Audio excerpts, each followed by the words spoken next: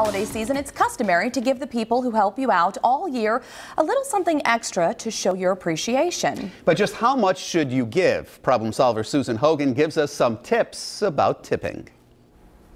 Figuring out just how much to give can be confusing from your mail carrier to your hairstylist. Call 12 for Action has guidelines to help you out. At year's end, many consumers like to show appreciation for the people they do business with year round, but just how much appreciation can be confusing. Kiplinger's personal finance gathered suggested guidelines for holiday tipping for hairstylists, manicurists, barbers, and the like. The recommended tip is the cost of one visit. For a cleaning person who visits weekly, it's usually the cost of one service. Apartment dwellers should check with their building to see if there's a collective fund distributed among staffers. If not, Kiplinger's recommends a range of 25 to $100 for doormen and 15 to 50 for handymen. A dog walker can receive a one week's pay if they walk your pet five days a week or more.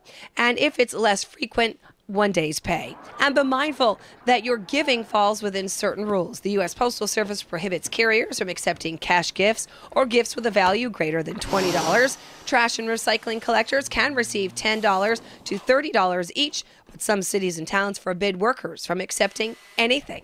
And remember, these are just suggestions for those who can't afford cash. A small homemade gift or treat will also, I'm sure, be appreciated.